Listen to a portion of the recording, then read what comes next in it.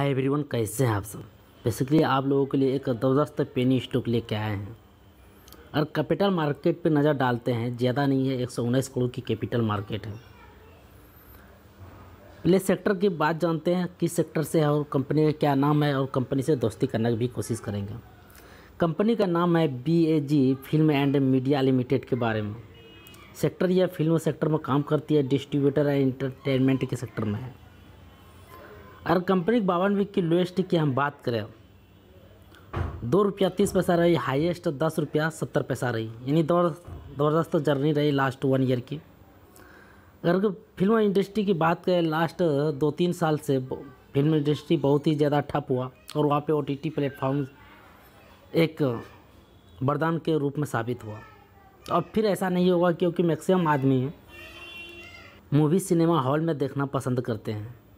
यह बहुत बड़ी एडवांटेज है, क्योंकि आदमी को रिलैक्सेशन भी चाहिए।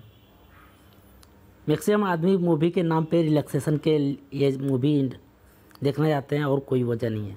अगर कंपनी की फेस वैल्यू की बात करें टू रुपीज़ फेस वैल्यू है।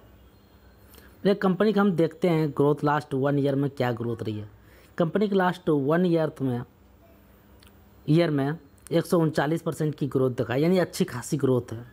और उम्मीद है इन फ्यूचर ये और ग्रोथ दिखाएगी। अगर लास्ट सिक्स मंथ की ग्रोथ की बात करें यहाँ पे 115 परसेंट की ग्रोथ है। यानी बहुत ही ज़बरदस्त ग्रोथ है कंपनी में।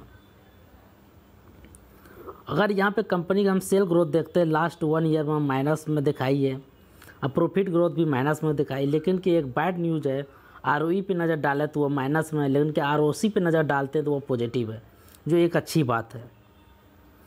और कंपनी ऑलमोस्ट डेट फ्री है। पहले भी मैं बता चुका हूँ, ये पेनी स्टॉक है।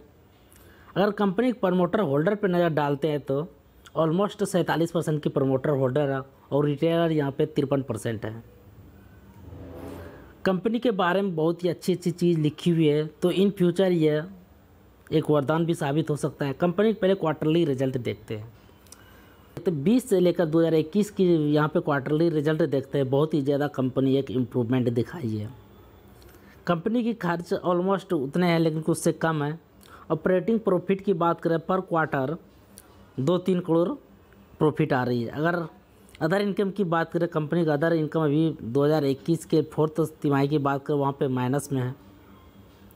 अगर कंपनी की एनुअली ग्रोथ देखते हैं 2017 से लेकर 2030 की जर, इक्कीस की जर्नी तो वहाँ पे कंपनी का प्रॉफिट लॉस एनुअली ग्रोथ में देखते हैं तो नेट सेल देख सकते हो 2017 से लेकर 2021 की जर्नी बहुत ही ज़बरदस्त ले, लेकिन कि 2020 वहाँ पे 33 करोड़ की नेट सेल रही 2021 30 करोड़ की लेकिन कि अदर ईयर के मुताबिक दोनों बहुत ही अच्छी है।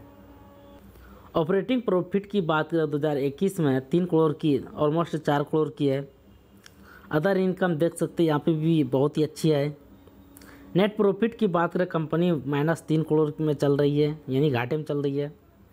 अगर कंपनी टोटल रेवेन्यू पे नज़र डालते हैं तो देख सकते हैं। अगर कंपनी के टोटल रेवेन्यू पर नज़र डालते हैं यहाँ पे, दो सौ तेईस करोड़ की टोटल रेवेन्यू है। कंपनी के ऊपर कोई कर्ज नहीं है प्रजेंट में बहुत ही कम है, उसका मायने नहीं रखता है। अगर कंपनी की इन्वेस्टमेंट की बात करें कंपनी बहुत ही ज़्यादा इन्वेस्टमेंट की है, दो सौ अड़तालीस करोड़ की इन्वेस्टमेंट है शुरू से। और टोटल एसिड देख सकते हैं यहाँ पे तीन सौ बारह करोड़ की टोटल एसिड है। नेट कैश फ्लो ऑलमोस्ट दो करोड़ की है, लेकिन कि प्रजेंट में डिविडेंट या बोनस नहीं डिक्लियर किया आई होप आप लोग यहाँ से समझ सकते हैं कंपनी के साथ बने रहना है या क्या करना है।